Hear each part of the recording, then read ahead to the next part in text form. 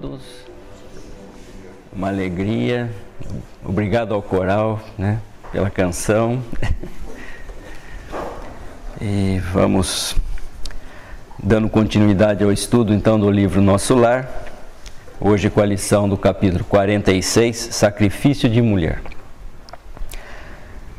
André Luiz então está pensando, né? Um ano se passou em trabalhos construtivos, com imensa alegria para mim. Aprender a ser útil, encontrar o prazer do serviço, experimentando crescente júbilo e confiança. Até ali, não voltara ao lar terrestre, apesar do imenso desejo que me espicaçava o coração, que me fazia sofrer, né? Às vezes intentava pedir concessões nesse particular, mas alguma coisa me tolhia. Quer dizer, você tem a vontade de pedir, né? mas você está tão amparado ali, está tão bem, né? Fala assim, acho que eu não devo pedir nada, né? Vou aguardar. Não recebera, diz ele, auxílio adequado, não contava ali com o carinho e apreço de todos os companheiros. Reconhecia, portanto, que se houvesse proveito, de há muito teria sido encaminhado ao velho ambiente doméstico na realidade, né, a gente vê que não era o momento mesmo, porque ele depois, aí, quando ele vai ainda, ainda ele tem um choque, né, uma perturbação grande, para depois ter que reequilibrar-se novamente. Né? Então ainda não era mesmo o momento. Né? Então a saudade existe no mundo espiritual, como existe aqui de nós no corpo físico, né? E o reencontro então das almas né, só acontece quando há um proveito né, certo para isso. Cumpria, pois, aguardar a palavra de ordem. Além disso, não obstante desdobrar atividades na regeneração, o ministro Clarencio continuava a responsabilizar-se pela minha permanência na colônia. Vejam que, embora ele já estivesse há um ano trabalhando né, constantemente, ele ainda estava sendo supervisionado, observado e acompanhado pelo Clarencio. Né? Porque ele ainda havia, ele ainda necessitava desse acompanhamento. A senhora Laura e o próprio Tobias não se cansavam de, de me lembrar esse fato. Por diversas vezes tinha defrontado o generoso ministro do auxílio e, no entanto, mantinha-se ele sempre silencioso sobre o assunto. Aliás, Clarencio nunca modificava a atitude reservada no desempenho das obrigações concernentes à sua autoridade. Quer dizer, tudo que o Clarencio tinha que fazer, estava dentro da sua programação, das suas atividades, ele não ficava comentando. Ele era discreto, fazia as coisas, né? E às vezes a gente tem o péssimo hábito de ficar, né? Comenta aqui, comenta ali, e as coisas a gente sabe que acabam desvirtuando, porque uma palavra, um entendimento. Então ele era sempre discreto, ia fazendo, né? Cumprindo as suas tarefas, os seus deveres, sempre no silêncio. Apenas pelo Natal, quando me encontrara nos festejos de elevação, tocara levemente no assunto adivinhando-me as saudades da esposa e dos filhinhos. Comentara as alegrias da noite e asseverara não andar longe o dia em que me acompanharia no ninho familiar. Agradeci comovidamente, esperando cheio de bom ânimo. É, o André Luiz estava esperando que acho que na semana seguinte, ali, mais uns dois, três dias, né, possivelmente ele voltaria. Mas não foi isso não que aconteceu. Agradeceu então, né? Porém, entretanto, atingíramos setembro de 1940 sem que visse a realização de meus desejos. Quer dizer, o tempo passou, era Natal, né, dezembro de um ano, né, de 39, já era setembro de 1940 e ele ainda não havia sido convidado né, e autorizado a voltar ao lar familiar na Terra. Confortava-me, porém, a certeza de haver preenchido todo o meu tempo nas câmaras de retificação, com serviço útil. Não descansara. Nossas tarefas prosseguiam sempre sem solução de continuidade. Vejam como essa lição eu gostei muito porque ela tem cada palavra, cada vez que a gente lê, nós vamos encontrando aqui uh, uh, as, aquilo que está dentro né, da codificação. Né? É, coisas para a gente observar, para nós analisarmos. Né? Vejam que ele aqui confortava-me a certeza de haver preenchido todo o meu tempo né? no trabalho, no serviço útil. E nós procurando no livro O Céu e o Inferno, no capítulo 3, Espíritos em Condições Medianas, nós temos uma mensagem do espírito Joseph Bré, né? em que a sua neta fez a, a invocação e, e nesses termos e ele vai responder. Caro avô, Podeis dizer-me como vos encontrais no mundo dos espíritos, dando-me quaisquer pormenores úteis ao nosso progresso? E o avô responde: Tudo o que quiseres, querida filha, eu espio a minha descrença. Porém, grande é a bondade de Deus que atende às circunstâncias. Sofro, mas não como poderias imaginar. É o desgosto de não ter melhor aproveitado o tempo aí na Terra. Quer dizer, o tempo aqui na Terra, o tempo né, em nosso lar, nas esferas que ainda estamos né, trabalhando e necessitando né, desse trabalho para progredirmos, o tempo. Né? E também Chico Xavier, em uma de suas frases, disse a questão mais aflitiva para o espírito no além é a consciência do tempo perdido. Né? Então, são coisas que a gente tem que parar, né, refletir, para ver como nós estamos é, conduzindo né, o nosso tempo. Habituar-me, diz, voltamos então ao livro, né? Habituar-me a cuidar dos enfermos, a interpretar-lhes os pensamentos. Não perdia de vista a pobre Elisa, encaminhando-a de maneira indireta a melhores tentames. Então, no livro O Pequeno Príncipe, né, nós tiramos um trecho que eu acho que, que também ajuda a esclarecer essa parte, né? essa frase. Então, do livro O Pequeno Príncipe, e voltou então a raposa. Adeus, disse ele. Adeus, disse a raposa. Eis o meu segredo. É muito simples. Só se vê bem com o coração. Quer dizer, André Luiz então habituara-se a cuidar dos enfermos, a interpretar-lhes os pensamentos. Né? Só se vê bem com o coração. O essencial é invisível para os olhos. O essencial, então, repetia o pequeno príncipe, é invisível para os olhos. Foi o tempo que perdeste, diz a raposa, com tua rosa que fez tua rosa tão importante. Foi o tempo que eu perdi, diz o pequeno príncipe, com a minha rosa, a fim de se lembrar. Os homens esqueceram essa verdade, disse a raposa, mas tu não a deves esquecer.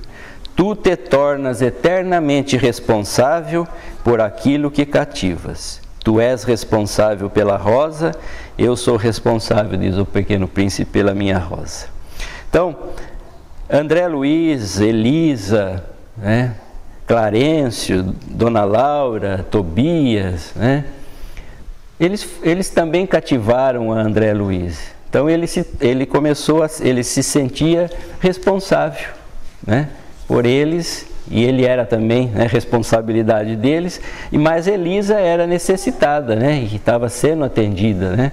Então ele leva a, a sempre que possível uma, procurava uma forma, um jeito de ajudá-la, de encaminhá-la ao retorno ao caminho do bem. Né? À medida, porém, que se consolidava meu equilíbrio emocional, intensificava-se-me a ansiedade de rever os meus. Quanto mais equilibrado, quanto mais ciente do amor, né, do verdadeiro amor, mais ele tinha realmente saudades de rever os seus familiares aqui na Terra. Então a saudade doía fundo. Em compensação, de longe em longe, era visitado por minha mãe, que nunca me abandonou à própria sorte, embora permanecesse em círculos mais altos. A última vez que nos avistáramos, ela me disse que tensionava cientificar-me de projetos novos. Aquela atitude maternal de suave conformação nos sofrimentos morais que lhe feriam a alma sensível comovera-me profundamente. Que novas resoluções teria tomado? Intrigado, esperei-lhe a visita, ansioso de conhecer-lhe os planos. Com efeito, nos primeiros dias de setembro de 1940, minha mãe veio às câmaras e, depois das saudações carinhosas, comunicou-me o propósito de voltar à Terra. Em tom afetuoso, explicou-me o projeto, mas, surpreendido e discordando de semelhante decisão, protestei. André Luiz então já estava achando que podia discordar né, das resoluções da sua mãe. Não concordo. Voltar a senhora à carne? Por quê? Internar-se de novo no caminho escuro, sem necessidade imediata? Mostrando nobre expressão de serenidade, minha mãe ponderou. Não consideras a angustiosa condição de teu pai, meu filho? Há muitos anos trabalho para reerguê-lo e meus esforços têm sido improfícuos. Laerte é hoje um cético de coração envenenado. Não poderia persistir em semelhante posição, sob pena de mergulhar em abismos mais fundos. Que fazer, André? Terias coragem de revê-lo em tal situação, esquivando-te ao socorro justo? Então vejam, se o pai do André Luiz continuasse naquela naquele meio de vida, né, em que se encontrava no plano espiritual, cada vez mais ele estava mergulhando, né? E nós podemos pensar, mas o espírito regride? Não, não havia regresso nenhum no espírito. Mas nas condições que ele estava criando mentalmente, né? na energia que ele estava produzindo com os seus pensamentos, com as suas atitudes, estavam ou iriam conduzi-lo ainda a regiões mais dolorosas e mais sofrimento, né? para que ele pudesse então despertar. Mas antes disso, então, a mãe, né, a ex-esposa, a mãe do André Luiz, a ex-esposa dele, do Laerte, vinha, estava trabalhando e vinha então ao seu socorro. É, não, respondeu André Luiz, impressionado, trabalharia por auxiliá-lo, mas a senhora poderá ajudá-lo mesmo daqui. E ela responde: Não duvido. No entanto, os espíritos que amam verdadeiramente não se limitam a estender as mãos de longe.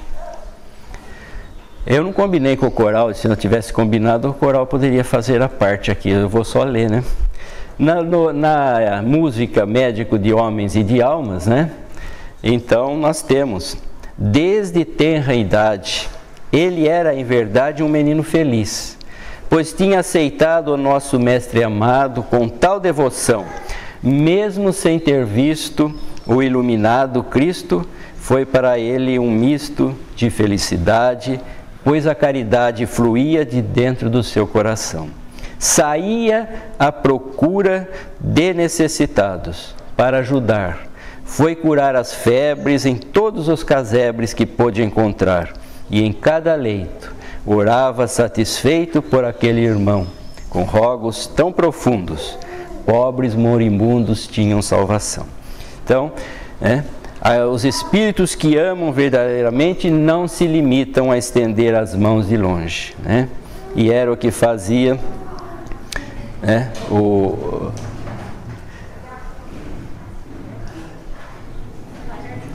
Oi? E era o que fazia então o, o Lucas, né? o Lucano também, é, né? que ia sair à procura né, dos necessitados para ajudá-los, né? não ficava esperando que fosse né, procurá-lo, ele saía à procura. Então, desde que nos valeria, de que nos valeria então toda a riqueza material, se não pudéssemos estendê-la aos entes amados?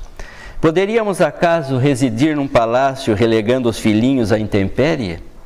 Não posso ficar à distância, já que poderei contar contigo aqui, doravante, reunir-me-ei a Luísa a fim de auxiliar teu pai a reencontrar o caminho certo. Luísa é a irmã que morreu, né, quando o André Luiz era bem jovem, ainda bem criança, né? Então vejam aqui uma outra, um outro ponto que nós temos que observar. Já, bom, ela não poderia ficar à distância, então, né? já que poderei contar contigo, quer dizer, ela, os espíritos, né? todos estamos em processo de evolução e de progresso, e quando reencarnamos, sofremos a pressão do mundo físico, as interferências do mundo físico, que são muito grandes. Então ela estava já prevendo dificuldades que ela iria enfrentar. E ela então, dizendo a André que você já está mais equilibrado aqui no plano espiritual, quando começar a fazer as visitas à Terra, vá me ajudar, vá me, né, através da intuição, do seu amparo, do seu apoio, me sustentar nas provas que eu estou assumindo, né?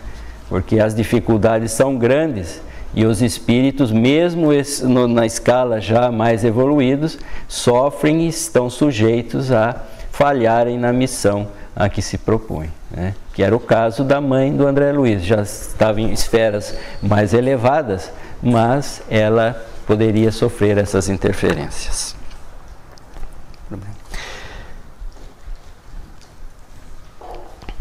Pensei, pensei e redargui.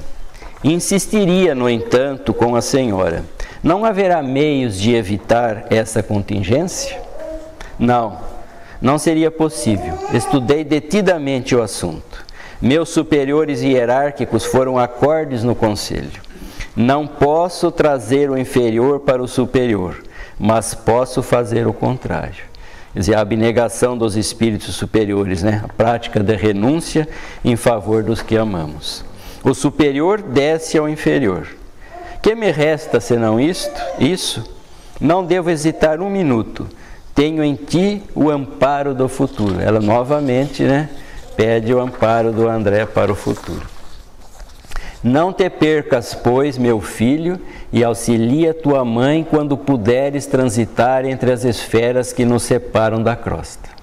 Extremamente entre mentes, perdão, zela por tuas irmãs, que talvez ainda se encontrem nas sombras do umbral, em trabalho ativo de purgação. Estarei novamente no mundo em breves dias, onde me encontrarei com Laerte para os serviços que o Pai nos confiar. Mas, indaguei, como se encontra ele com a senhora? Em espírito? Não, disse minha mãe com significada ou com significativa expressão fisionômica. Com a colaboração de alguns amigos, localizei-o na Terra a semana passada, preparando-lhe a reencarnação imediata. Localizei-o na Terra, perdão, sem que ele nos identificasse. Então, foi eles através de amigos, né? Ela encontra Laerte aqui o espírito, né, aqui na Terra, e junto com esses amigos, eles então ela vai preparar a reencarnação imediata sem que ele identificasse, ou os identificasse. Né? Quis fugir das mulheres que ainda o subjugam. Veja, ele já tinha, ele tinha alguma vontade, algum desejo, né? E foi esse desejo que permitiu que os espíritos se aproximassem e né, preparassem a reencarnação. Esse desejo desse de melhorar, né, de fugir àquela, àquela pressão que estava sofrendo. Talvez quis então ele fugir das mulheres que ainda o subjugam, talvez com razão, e aproveitamos essa disposição para jungi-lo à nova situação carnal. Mas isso é possível? E a liberdade individual? Minha mãe sorriu, algo triste, e obtemperou. Há reencarnações, existem reencarnações que funcionam como drásticos. Ainda que o doente não se sinta corajoso, Existem amigos que o ajudam a sorver o remédio santo, embora muito amargo. Então, reencarnação compulsória, né? não há liberdade irrestrita, não existe essa liberdade irrestrita. Relativamente à liberdade irrestrita, a alma pode invocar esse direito somente quando compreende o dever e o pratique. Quanto ao mais, é indispensável reconhecer que o devedor é escravo do compromisso assumido. Então Deus criou o livre-arbítrio, nós criamos a fatalidade. É preciso então quebrar, portanto, as algemas que fundimos para nós mesmos. Então, volto a dizer, Deus criou então o livre-arbítrio e nós criamos então essa fatalidade. Né? Antes de praticar o mal, devemos ver as consequências. Inimigos podem interromper a gravidez.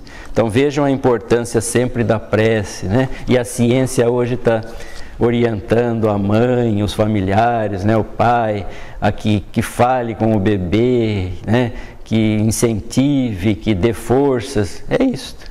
Né? Para aquelas, aqueles irmãozinhos ainda que estão sintonizados com aquele espírito que vai reencarnar, né? se forem os bons, né? estão querendo ajudá-lo, mas se forem inimigos, né? estarão tentando impedir né? que ele tenha condições de renascer para progredir. Enquanto me perdia em graves pensamentos, continuou ela, retomando as anteriores observações. As infelizes irmãs que o perseguem, entretanto, não o abandonam. E se não fosse a proteção divina por intermédio de nossos guardas espirituais, talvez lhe subtraíssem a oportunidade da nova reencarnação. Deus meu, exclamei, será então possível? Estamos à mercê do mal até esse ponto? Simples joguetes em mãos dos inimigos? Essas interrogações, meu filho, esclareceu minha genitora muito calma, devem pairar em nossos corações e em nossos lábios antes de contrairmos qualquer débito e antes de transformarmos irmãos em adversários para o caminho não tomes empréstimos à maldade. É, vejam a importância né, que esse chamamento e esse alerta, né? Trazermos esse, esse pensamento, essa lembrança, essa orientação em nossos corações e em nossos hábitos para evitarmos contrairmos débitos, né? criarmos inimigos nessa jornada que fazemos. E essas mulheres? Indaguei.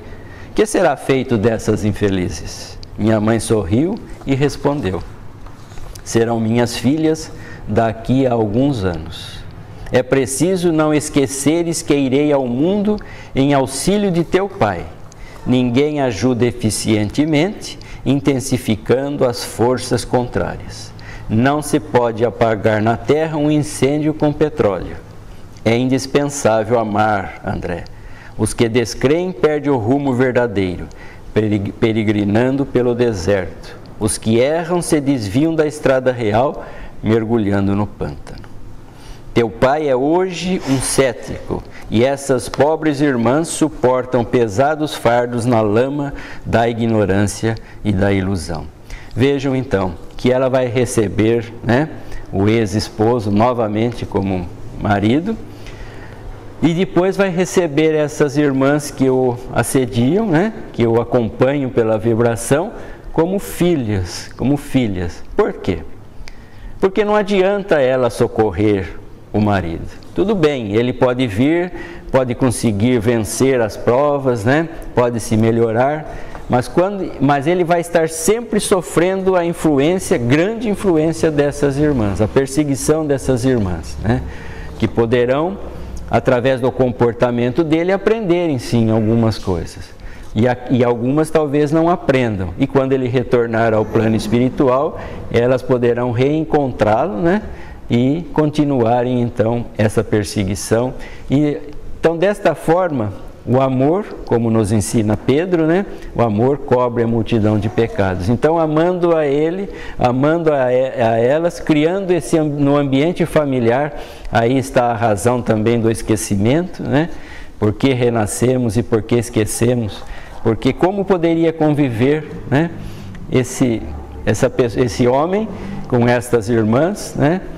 Que na vida tiveram atitudes e comportamentos né, irresponsáveis que continuavam com esses comportamentos né, danosos para si mesmos no plano espiritual. Então, com através do esquecimento, com o carinho da mãe, com o carinho que nós devemos aos pais e o carinho que os pais devem aos filhos, né? esse amor, esse carinho, esse, esse entendimento, superando né, dificuldades vou superar porque é minha filha, vou entender porque é meu pai. Eles vão aprendendo. Então, poderão produzir um efeito, poderá produzir e produzirá um efeito muito melhor nessa recuperação. Num, em futuro não distante, colocarei todos eles então em meu regaço materno, realizando minha nova experiência. Então é indispensável amar, converter verdugos em filhos do coração. E olhos brilhantes e úmidos, como se estivesse a contemplar horizontes do porvir, rematou. E mais tarde, quem sabe, talvez regresse a nosso lar, cercada de outros afetos sacrossantos, para uma grande festividade de alegria, amor e união. Identificando-lhe o espírito de renúncia, ajoelhei-me e beijei-lhe as mãos. Daqui, desde aquela hora, minha mãe não era apenas minha mãe, era muito mais que isso. Era a mensageira do amparo que sabia converter verdugos em filhos do seu coração, para que eles retomassem o caminho dos filhos de Deus. Então, essa é o estudo né, da lição 46, sacrifícios, sacrifício de mulher. Né? Vejam quanta coisa a gente pode ir analisando das palavras. E tem outras palavras, tem outras frases aqui que a gente precisa parar, né? ler, reler, lembrar das obras da codificação e formar então um entendimento mais completo. Agradeço a todos né? e agradeço a oportunidade de mais uma vez estar aqui. Deus nos abençoe, serene os nossos corações hoje e sempre. Que assim seja.